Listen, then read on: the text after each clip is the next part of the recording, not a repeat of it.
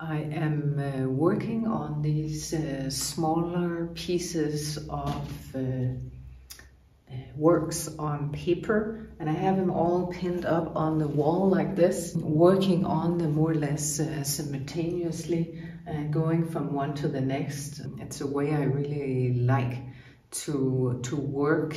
It prevents me from getting too precious about each one. Uh, so I work a bit on one and then move on to the next.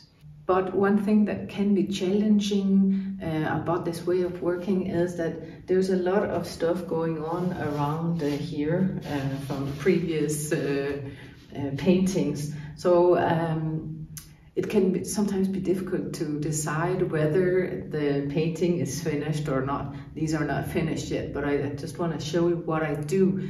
Um, I have one of these uh, mats that I will put up uh, in front of a painting uh, like this. It kind of isolates the painting from the background and makes it a lot easier to uh, to see and kind of determine whether it's finished or not.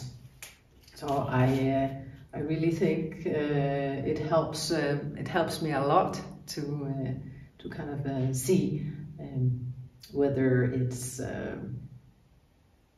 balanced, if it needs more or not.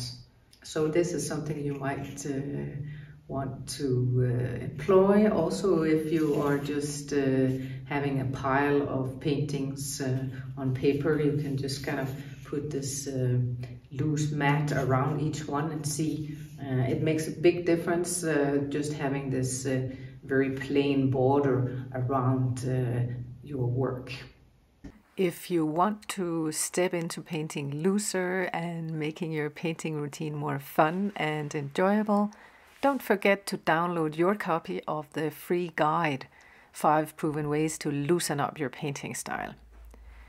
The guide has my top 5 tips to transform your painting style, so grab your copy of the guide via the link below this video.